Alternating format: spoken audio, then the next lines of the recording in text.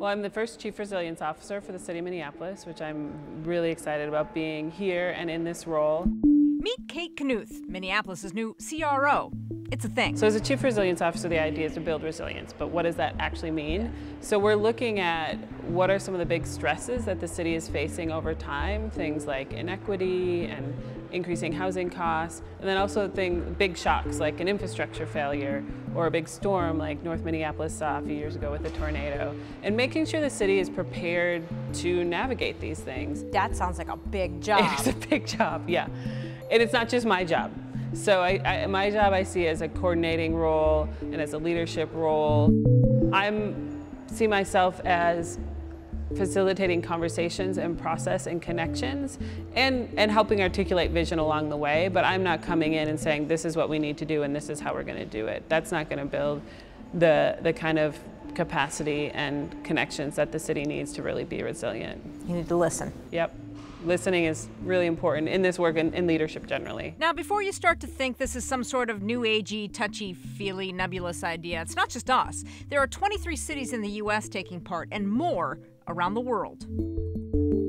My position in this work is being funded by 100 Resilient Cities, which is pioneered by the Rockefeller Foundation. And 100 Resilient Cities, like the name, is there's 100 cities around the world who've gotten to be part of this network. And it's really learning from each other as chief resilience officers how to build the practice of resilience in cities. And each city is unique, but we face common challenges. For taxpayers who are sitting at home going, I don't want my money paying for this, yeah. it's not. It's not, yeah. This is grant funded work. There are going to be people who will be naysayers. What do you, what do you say to them? I think we have a lot of the tools, but we haven't necessarily had a person whose job it was to take a step back and do some of that really future thinking planning and looking out 10 or 20 or 50 years um, and say, what's going to happen in our city and how can we best prepared to handle it? And so I think it's really exciting to have someone whose job it is to be doing that and to be connecting with all the people in, in the city, government, and more broadly in the community who are interested in being better prepared for and um, better responsive to the, the big changes we have happening.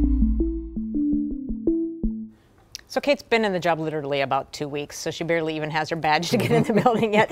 So not a whole lot going on at this point, but she is developing those relationships and she is going to be getting the community involved in the future. So if you're wondering how you can do your part or how you can get involved, there will be opportunities for that in the future once they have more concrete ideas about what they're going to be doing. Kate Knuth, of course, uh, coming from the U of M, where she ran a leadership development program, and she also was a former lawmaker, so you probably right. know her I from her those days. In the legislature, she was Kate Knuth, and she was always very uh, oriented toward the environment. She really liked uh, doing stuff about making things greener, things like that. So. And climate change is going to be a big yeah. role for her here. So we'll we'll have to see how this goes. It's a two-year program, and we don't know what's going to happen after yeah. that. So well, we'll there you see. go. All That's right. Good.